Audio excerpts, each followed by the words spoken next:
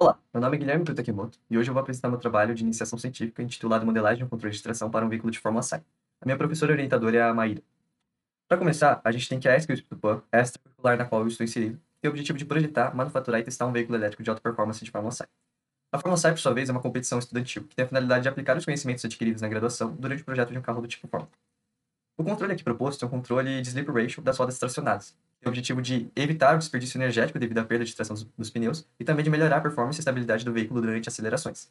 O controle de tração é especialmente útil é, para veículos elétricos porque esses possuem motores elétricos que têm a característica de torque instantâneo, ou seja, torques elevados a baixas rotações. Então, veículos elétricos geralmente têm é, acelerações potentes e esse é o cenário ideal para a implementação de controle de tração. Para desenvolver o controle, foram utilizados dois principais softwares, o MATLAB, onde a gente idealizou scripts de otimização, e o próprio sistema de controle no Simulink, e o CarMaker, que é um software de simulação e de dinâmica veicular, onde a gente conseguiu parametrizar o protótipo da equipe e também pistas é, para simulação no ambiente virtual. Falando agora sobre o controle em si, ele é pautado na teoria das dinâmicas longitudinais que regem o pneu. É, segundo a teoria, existe um sleep ratio ideal que permite a máxima transmissão de força longitudinal. Esse sleep ratio ideal pode ser utilizado como uma referência para um sistema de controle de malha fechada, cujo diagrama de blocos está disposto abaixo. Então aqui a gente tem um sleep ideal, que vai ser comparado real, fornecido pelo CarMaker. Esse erro vai ser inserido a um controlador que vai ter a função de calcular o torque a ser reduzido nos motores para evitar que o pneu derrape. Sobre o controlador, foi proposto desenvolver um controlador proporcional integrativo e um controlador Slide Mode Control, mas até a data desse vídeo apenas o PI foi desenvolvido. Sobre o controlador PI, é necessário tecer algumas considerações.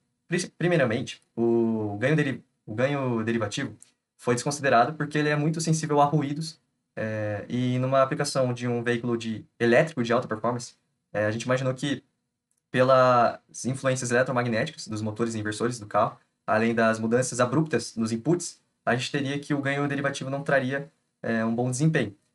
Além disso, sobre o ganho integral, a gente tem um recurso de anti-wind-up é, pautado no clamping. Sobre os ganhos proporcionais integrativos, a gente desenvolveu, a gente calculou eles com base na função GA do MATLAB, que acha o mínimo de uma função objetivo. Então, a gente desenvolveu essa função, uma função objetivo que tinha como inputs os ganhos proporcionais integrativos e, com base nesses ganhos, ele realizava uma simulação padronizada de uma aceleração em linha reta no CarMaker e tinha os outputs de, do tempo de simulação que ele levou para completar essa aceleração. Então, com base nisso, a gente conseguiu é, estabelecer uma relação entre os ganhos e o tempo de simulação. Sobre os resultados, primeiramente a gente tem a comparação do controle de tração ativado com ele desativado. Ele ativado está expresso em azul nos gráficos abaixo, e a gente pode perceber que ele produzia um sleep ratio consideravelmente menor e também que convergia para uma faixa tolerável em um tempo muito menor. É, além disso, analisando a força longitudinal nas duas situações, a gente percebe que quando o controle foi ativado, é, foi possível um crescimento constante da força longitudinal na roda, enquanto com o controle de tração desativado, a gente teve uma queda abrupta a níveis é, consideravelmente menores. Isso significa que quando começou a ter o deslizamento das rodas, é, sem o controle de tração, as rodas ficaram incapacitadas de fornecer a força longitudinal necessária, é, resultando assim numa aceleração mais lenta, como a gente pode observar pelos tempos é, dispostos abaixo. É, a gente também pode comparar o controle de tração desenvolvido com outros controles de trações é, que a gente tem disponível na teoria, na literatura, perdão. É, então a gente comparou o controle de tração proposto com o controle de tração nativo do CarMaker, que está em amarelo, e com o controlador, o controle de tração desenvolvido por Anton Stupp, que se baseia no princípio de círculo de tração, que está em verde. A gente pode observar novamente que o controle proposto teve um sleep ratio menor, se comparado aos outros, e também que convergia a faixas toleráveis muito mais rapidamente. O que resultou, por sua vez, em tempos de acelerações consideravelmente menores, como pode se observar no gráfico abaixo.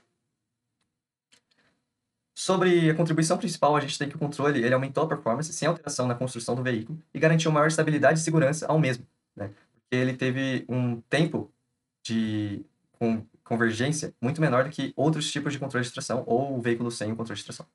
Para os trabalhos futuros, a gente tem a implementação de novas topologias, como citado, planeja-se implementar o SMC, além do estudo acerca da instrumentação necessária para a implementação prática do protótipo da equipe SQSP e também a otimização do controle para outras manobras que não a aceleração em linha reta. Muito obrigado pela sua atenção.